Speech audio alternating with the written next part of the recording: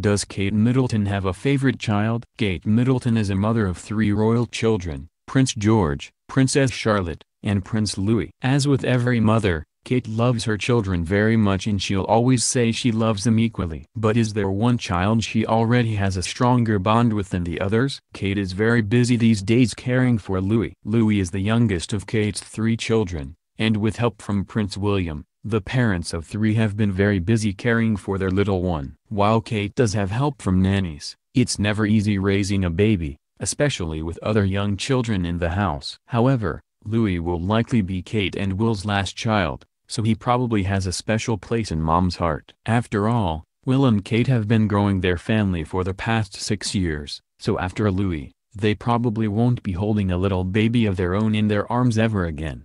George is Kate's firstborn, so she'll always have a special bond with him. Will and Kate welcomed their first child, George, in July 2013. He will always be Kate's first child and oldest son, and the two have shared some adorable mother-son moments through the years. George is new to being a royal, but it's something he'll always grow up with. However, it can be overwhelming at times. As his mother, Kate is always there to reassure George whenever there are too many people around and he doesn't feel comfortable. She was often seen carrying George in a warm embrace when he was a baby, showing how proud she is to be a mother. Charlotte is Kate's only daughter, so the two will likely grow extremely close. The mother-daughter relationship is a very important one and Kate and Charlotte are reportedly pretty inseparable. Sources have said that Charlotte is constantly following her mother around and always wants to be where Kate is. A source close to the family has said that Kate loves spending time outside with her children,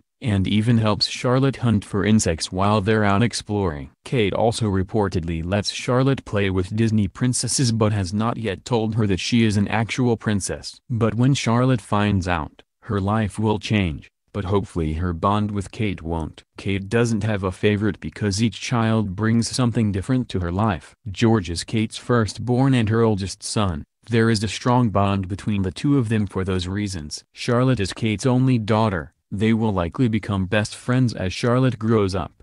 And Louis is Kate's youngest and probably the last time she'll ever raise a baby. She's likely soaking up every moment she gets to spend with him. Kate truly doesn't have a favorite child because each child holds something so different in her heart. She loves being a mother, and so far, it seems she's done a pretty good job of it.